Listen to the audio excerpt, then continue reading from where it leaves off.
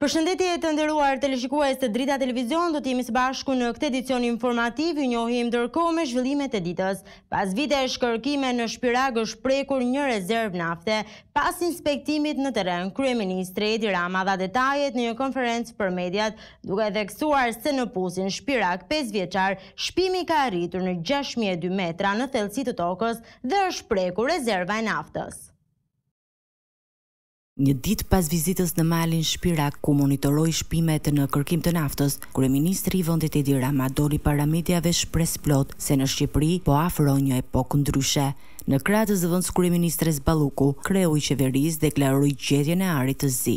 Përgatiten për testin, i cili do të fillojë në tetor dhe rezultatet e testit bazohen në ndjekjen e qëndrueshmërisë së fluksit që del mbi sipërfaqe për çka normalisht përdoret një periudhë dy deri në tre mujore, po përgatitet dhe plani masiv i investimit, sepse gjithë ajo rezervë për t'u nxjerrë sipër duhet pastaj të hyjë në infrastrukturën përkatëse, për ta transportuar sasinë e gazit dhe të naftës dhe për ta nxjerrë atë në tregun vendas dhe në atë patjetër botëror.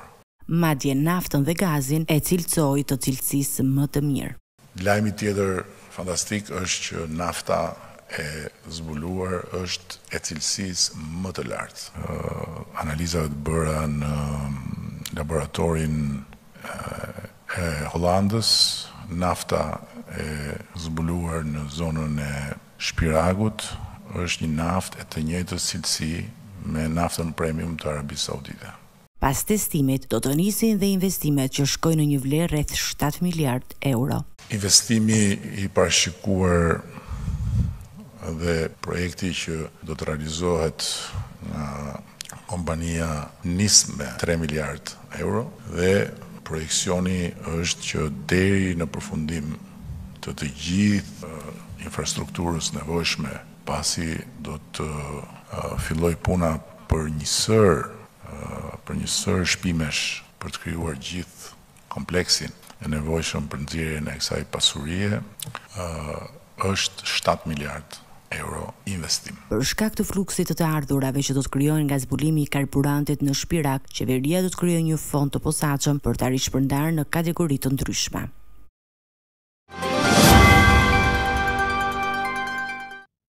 Kryeministri Edi Rama ka komentuar kalimin online e-Albania të shërbimeve të Kadastrës. I pyetur nga gazetarët për Kadastrën, Rama thotë se numri i shërbimeve të dhëna online është shumë më i lartë krahasuar se më parë. Ai thekson se noterët dhe shumë të tjerë që qëndronin rreth e rrotull Kadastrës si hiena janë të nervozuar pasi tani më nuk ka më korrupsion. Kadastra që pas kalimit të funksionimit online ka bllokuar dhënien e dokumenteve për qytetarët. Noterët dhe bankat kanë deklaruar se Kadastra po vonon përgjigjet e qytetarëve, të cilët detyrohen të paguajnë disa herë fatura dhe nuk marrin shërbimin e duhur. Kryeministri i vendit Edi Rama e mohoi një gjë të tillë, teksa shton se kalimi në sistemin online ka nervozuar jo vetëm noterët, por edhe ata persona që rrinin pranë Kadastrës si hiena. Çudi, sepse faktet flasin ndryshe. Nëse shihni volumin e shërbimeve të dhëna nga Kadastra që kur ka kaluar në këtë sistem, krahasuar me më parë, është shumë më i lartë, shërbimet të dhëna. Natyrisht që është një sistem që noterët I nervozon, patjetër. Ëh, shumë të tjerë që i kanë qëndruar rreth e rrotull kadastrës si hiena janë jo të nervozuar, po shumë të ëh agresivizuar dhe mbi të gjitha ky sistem kërkon pak punë në fillim kur fillon ta përdorësh. Kryeministri Rama shtoi gjithashtu se janë dhënë më shumë shërbime që kur Kadastra ka kaluar në shërbimin online. Kryetari i Partisë Demokratike Sali Berisha ka deklaruar se drejtësia është më kriminale se krimi. Në një tryezë të organizuar për lidhjet e krimit me politikën, Berisha u shpreh se drejtësia me urdhër të qeverisë ka amnistuar Ilir Beqajn, i cili është përgjegjës për vdekjen e mijëra shqiptarëve. Ish-kryeministri Sali Berisha nga tryeza e debatit Pushteti i krimit u shpreh se i dërguari i kryeministrit, Edi Rama, Ervin Muça, urdhëroi punonjësit e policisë të hidhin të dhënat sekrete në USB. Ervin Muço, Urdhëron, shkon shef aty, urdhëron varësit të të eksportojnë tek USB-ja e tij të dhënat e të dhënat e e TIMS-it. Një punojës aty e kundërshton. Përgjegjës sektori, urdhëron dhe punojësit e tjerë mos iu bindni urdhrit. Drejtori Rrumbullaku e pezullon. E pezullon. Çfarë ku është si është situata sot? Ai është i fuqishëm në krye të detyrës me Rrumbullakun e çuar me pushime të detyruara. Ndërkaq Berisha deklaroi se ky sistem i drejtësisë politike është plot me xhevahire, duke iu referuar në një farë mënyre lirimeve nga drejtësia. Ai tha se u amnistua ish-ministri Ilir Beqaj, i cili është përgjegjës për vdekjen e mijëra shqiptarëve. Ky sistem i drejtësisë politike është plot xhevahir. A nuk është xhevahir ai i cili amniston Ilir Beqen, a nuk janë xhevahir ata? Ishte mi, Ilir Beqja, i cili ka firmën e tij në të gjitha aktet vendimtare të sterilizimit, është përgjegjës për vdekjen e mijëra shqiptarëve për mosoperim dot.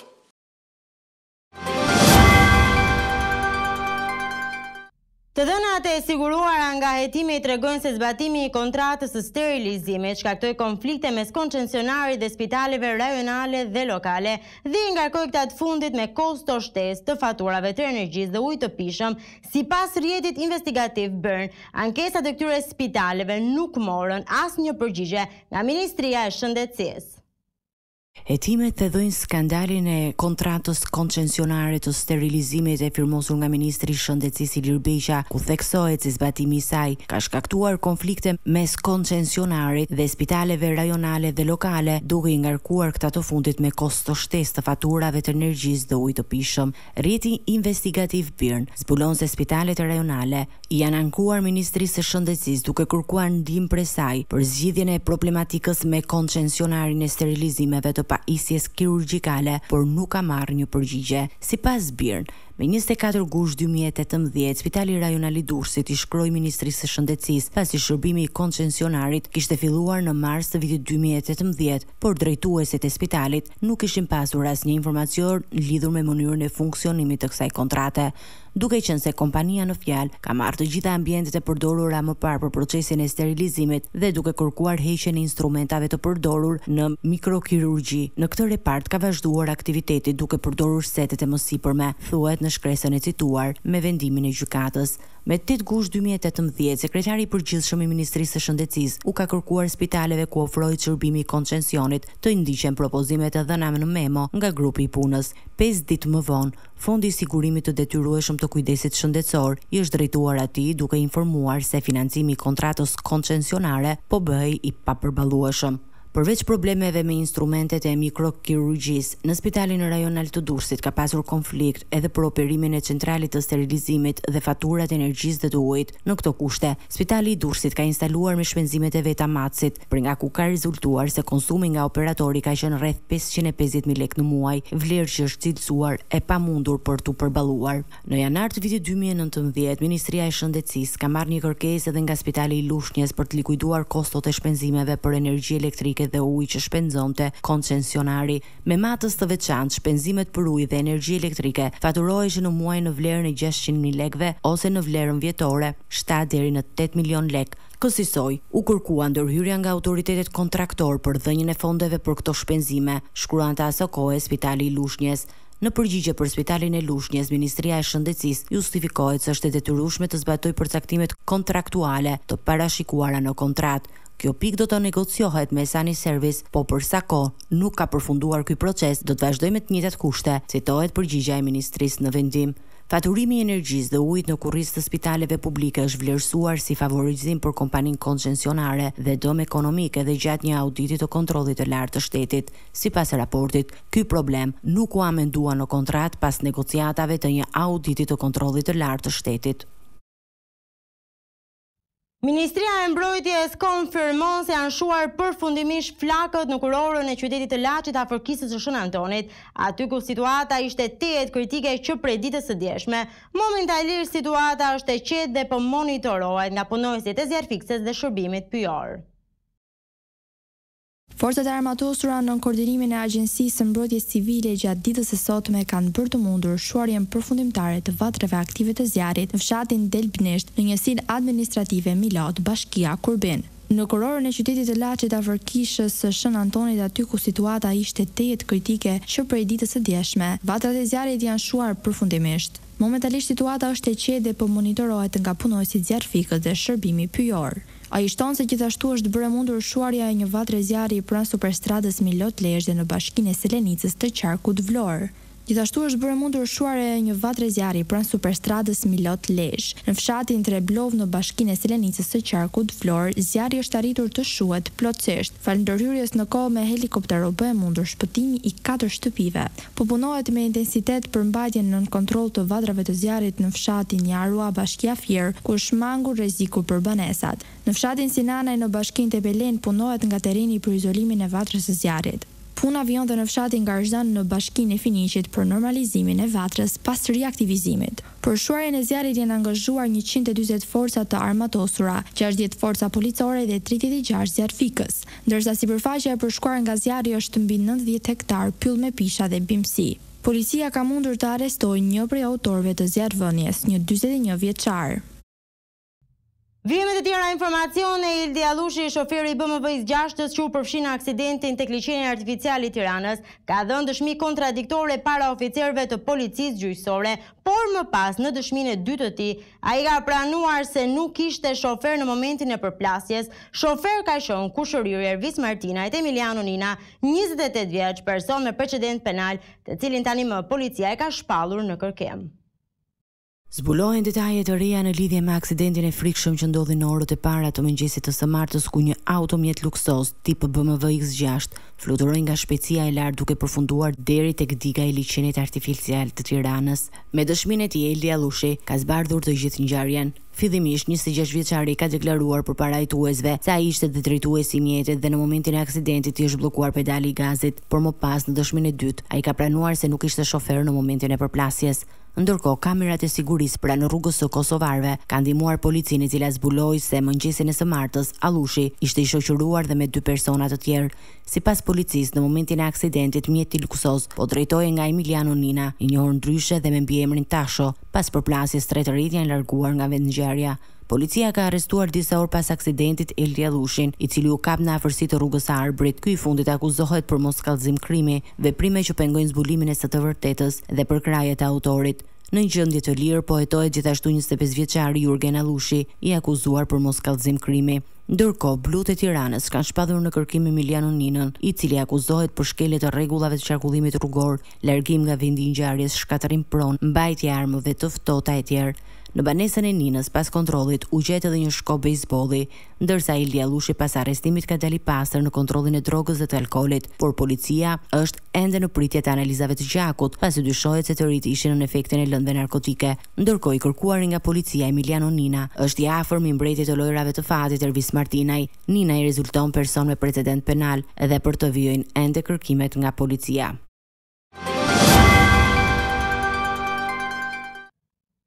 Tashmë burgu i Durrësit mund të marrë një tjetër emërtim, burgu i vipave. Tre ish kryebashkiakë socialistë dhe kryetari i zgjedhur i Himarës, i arrestuar që prej dymbëdhjetë majit, Fredi Beleri, janë transferuar në qelinë e paraburgimit të Durrësit. Në të njëjtin institucion ndodhen dhe ish ministra dhe deputetë. Kryetari i zgjedhur i Bashkisë së Himarës Fredi Beleri ka lënë të martën spitalin e burgut dhe është transferuar në qelinë e paraburgimit të Durrësit. Gjatë ditës së martë njëzet e dy gusht dy mijë e njëzet e tre, Beleri nën akuzën për blerje të votave për zgjedhjet e katërmbëdhjetë majit në Himarë është takuar në spitalin e burgut edhe nga konsullja e Greqisë. Bashkë me të në të njëjtën furgon është transferuar dhe ish-kryetari i Bashkisë së Bulqizës, Lefter Alla, nën akuzën për korrupsion me tenderat. Paraburgimi i Durrësit ka mbledhur të akuzuarit vip, pasi në të njëjtin institucion ndodhen dhe ish-kryebashkiakë të tjerë, ish-ministra e deputetë. Atje mbahen të izoluar në pritje të verdiktit të drejtësisë, ish-ministri i Mjedisit Lefter Koka, ish-deputeti socialist Alqi Bllako, të akuzuar për aferën e inceneratorëve bashkë me Arben Dervishin, zëvendëspresidenti i FSHF-së, Administrator i njërës prej kompanive të punimeve në inceneratorin e Fierit, Fredi Beleri dhe Lefter Alla, do t'i bashkohen kolegëve ish-zyrtarë lokalë, ish-kryebashkiakut të Durrësit Vangjush Dako që ndodhet në paraburgimin e Durrësit për tenderin e shëtitores së Currilave dhe shpërdorim detyre në një pallat të dëmtuar nga tërmeti, Safet Gjicit, i shkarkuar nga Bashkia e Kukësit pak ditë pasi u rizgjodh më katërmbëdhjetë maj për skandalin seksual në zyrën e tij nën akuzë për korrupsion.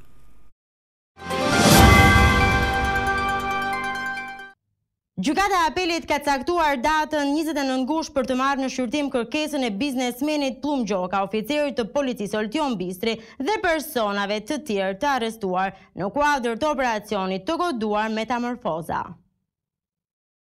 Gjykata e Apelit të Posaçëm do të vendosë më njëzet e nëntë gusht për kërkesën e biznesmenit Pëllumb Gjoka, oficerit të policisë Oltion Bistri dhe personave të tjerë të arrestuar, që kërkojnë ndryshimin e masës së arrestit në burg. Ata kundërshtojnë mënyrën proceduriale të mbërritjes së provave që përfshijnë mesazhet e përgjuara të aplikacionit Sky ECC dhe EncroChat të zbërthyera nga autoritetet franceze. Mes personave që kanë bërë ankim është edhe Astmer Bilali, i dyshuar për plagosjen e Hermes Beqirit në Shkodër. Nga operacioni i koduar Metamorfoza u prangos dhe prokurori Xhevahir Lita, teksa u shpall në kërkim dhe Ervis Martinaj. Në total në hetim për dosjen Metamorfoza janë gjashtëmbëdhjetë persona, të cilët duke punuar si një grup i strukturuar kriminal, organizuan dhe finalizuan vrasjen e Gjin Boriçit në gusht të vitit dy mijë e njëzet në Vaun e Dejës dhe përgatitën terrenin për të vrarë dhe Ibrahim Licin, Dorian Dulin dhe Genc Tafilin, por nuk ia dolën. Fenomeni i grabitjeve të shtëpive dhe bizneseve është bërë shkak për revoltimin e banorëve të fshatit Synej të qytetit të Kavajës, të cilët protestuan të mërkurën. Duke bllokuar për disa orë rrugën kryesore të fshatit, protesta u shoqërua nga prania e forcave policore të qytetit, të cilët pohuan arrestimin e disa grabitësve dhe vijimin e hetimeve për të ndaluar grabitësit e tjerë të cilët janë nën vëzhgimin e policisë. Pas përsëritjes së vazhdueshme të grabitjeve të banesave në fshatin Synej të qytetit të Kavajës, banorët janë ngritur në protestë të revoltuar. Sipas banorëve, grabitësit me një guxim të tepruar kanë arritur të futen në banesa edhe me prezencën e vetë banorëve në shtëpitë e tyre. Ata kërkojnë ndërhyrjen e policisë, madje disa prej tyre paralajmërojnë vetëgjyqësi në rast se nuk veprohet nga ana e shtetit për të frenuar këtë fenomen.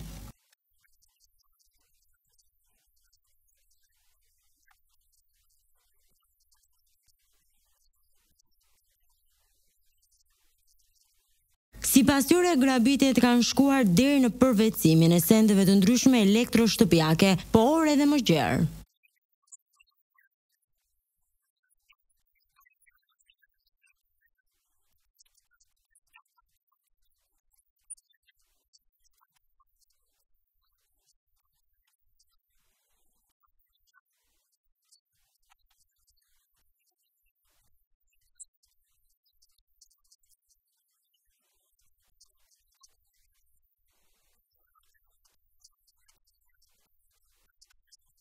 Gjatë protestës u vu re prania e forcave policore të qytetit të Kavajës, përfshirë edhe shefin e Komisariatit të Kavajës, i cili në konfidencë u shpreh se janë arrestuar në flagrancë deri më tani disa persona, por për arsye hetimi nuk mund të përmenden emra konkretë. Gjithashtu, përfaqësuesit e policisë thanë se ky grup grabitësish ka kohë që hetohet nga policia dhe shumë shpejt pritet të bëhet i mundur ndalimi i tyre.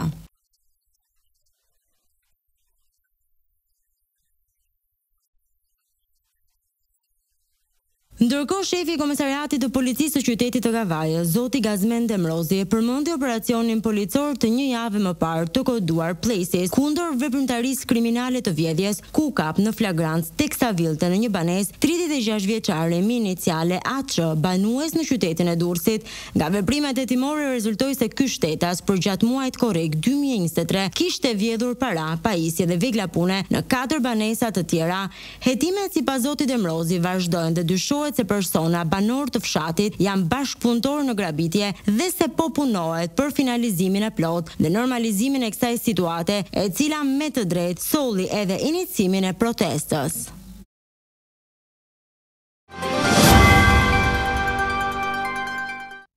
Le të ndjekim parashikimin e motit. Territori shqiptar për ditën e enjte parashikohet të përshkohet nga një mot kryesisht i paqëndrueshëm, me kalime vranësirash të cilat do të jenë prezente në të gjithë territorin, të shoqëruara me reshje të pakta shiu, kryesisht në pjesën jugore dhe veriore të territorit. Temperaturat minimale parashikohet të jenë rreth tetëmbëdhjetë gradë Celsius, ndërsa temperaturat maksimale pritet të arrijnë deri në dyzet e një gradë Celsius. Era do të fryjë lehtë në drejtimin jugperëndimor me një shpejtësi një deri në katër metër për sekond, gjë që do të bëjë që dallgëzimi të jetë deri në katër ballë. Sipas parashikimeve temperaturat minimale dhe maksimale në disa qytete kryesore të Shqipërisë do të jenë si vijojnë. Shkodër, njëzet e gjashtë deri në dyzet e një gradë Celsius. Kukës, nëntëmbëdhjetë deri në njëzet e pesë gradë. Peshkopi, njëzet e katër deri në tridhjetë e dy gradë. Tiranë, njëzet e gjashtë deri në tridhjetë e katër gradë.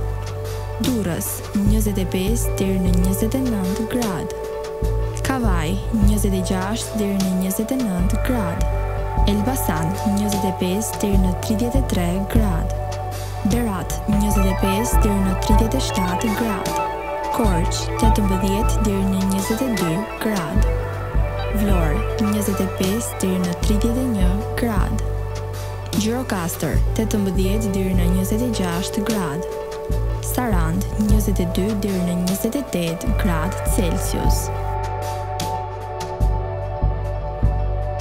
Territori i Kosovës për ditën e enjte parashikohet të përshkohet nga një mot i paqëndrueshëm, me kalime vranësirash të shoqëruara me reshje shiu që do të përshkojnë të gjithë territorin. Sipas parashikimeve, temperatura minimale do të jetë tetëmbëdhjetë gradë Celsius, ndërsa temperatura maksimale do të jetë tridhjetë e dy gradë Celsius. Era do të fryjë në drejtimin jugperëndimor me një shpejtësi mesatare një deri në tre metër për sekond, ndërsa temperaturat minimale dhe maksimale në disa qytete kryesore të Kosovës do të jenë si vijojnë, Mitrovicë, nëntëmbëdhjetë deri në tridhjetë e një gradë Celsius. Podujevë, nëntëmbëdhjetë deri në njëzet e tetë gradë, Skënderaj, nëntëmbëdhjetë deri në tridhjetë e një gradë, Pejë, nëntëmbëdhjetë deri në njëzet e nëntë gradë, Prishtinë, nëntëmbëdhjetë deri në tridhjetë gradë, Gjakovë, njëzet e dy deri në tridhjetë e tre gradë, Malishevë, njëzet e një deri në tridhjetë e dy gradë. Gjilan, njëzet e tre deri në tridhjetë gradë, Ferizaj, nëntëmbëdhjetë deri në tridhjetë e një gradë, Kaçanik, nëntëmbëdhjetë deri në njëzet e tetë gradë, Prizren, njëzet deri në njëzet e shtatë gradë Celsius.